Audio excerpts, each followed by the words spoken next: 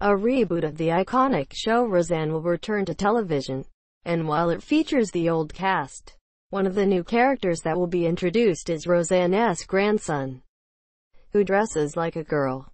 The character is a nine-year-old named Mark, played by Ames McNamara. The show's executive producer Sara Gilbert, who is returning on screen as Darlene, explains he is not transgender, transitioning or gay. He's too young to be gay and he doesn't identify as transgender.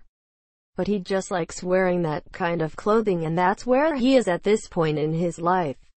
It represents the world, Gilbert said. This is a show that's always been able to represent the world and talk about it without being so issue heavy. We can do it through the dynamics of the family.